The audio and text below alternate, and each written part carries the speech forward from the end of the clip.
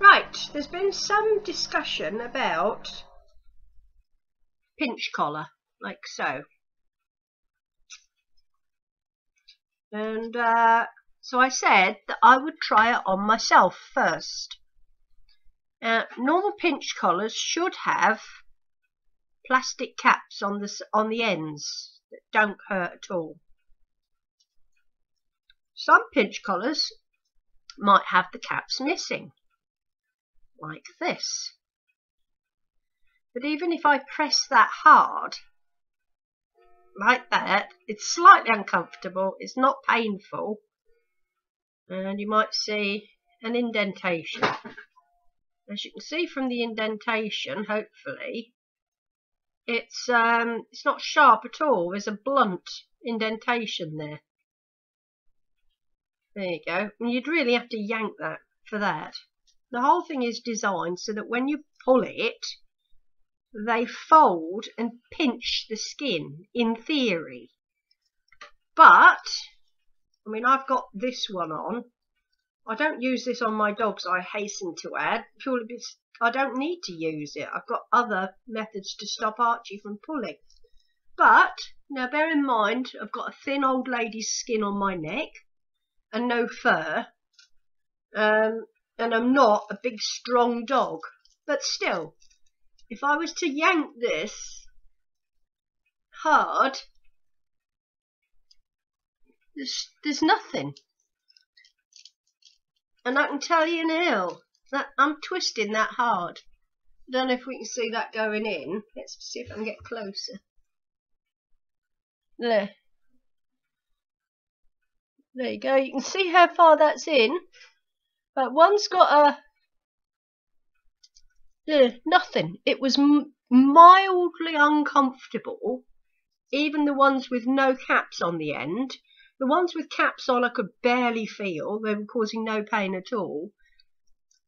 And you imagine a dog's neck, the skin is thicker anyway, and it has fur. It would be like if I put my collar up, and this is a just a thin cheesecloth. It's just cheesecloth. And then was to put this and yank it hard. I can hardly breathe. I'm yanking that really hard. I can tell you now, where the collar is, I can hardly feel that at all. So the debate about whether they are cruel and vicious implements of torture, as some would have you believe, I have to say, from my own opinion, they're not. So I don't know what all the fuss is about, quite frankly. I really don't. But there you have it. I've had a prong collar, a pinch collar, whatever you want to call it. I've had it on myself. You've seen me yank, yank it several times and if I can get my thing to the light you can also see that I haven't got cuts and scratches and bruises and red marks at all. What can I say? But there you go. Right, there's been some discussion about pinch collar, like so. And uh, so I said that I would try it on myself first. Now, normal pinch collars should have plastic caps on the, on the ends that don't hurt at all. Some pinch collars might have the caps missing, like this. But even if I press that hard, like that, it's slightly uncomfortable, it's not painful, and you might see an indentation. As you can see from the indentation, hopefully, it's um, it's not sharp at all. There's a blunt indentation there. There you go. And you'd really have to yank that for that. The whole thing is designed so that when you pull it, they fold and pinch the skin, in theory. But mean, I've got this one on. I don't use this on my dogs, I hasten to add, purely because I don't need to use it. I've got other methods to stop Archie from pulling. But now bear in mind, I've got a thin old lady's skin on my neck and no fur. Um, and I'm not a big strong dog.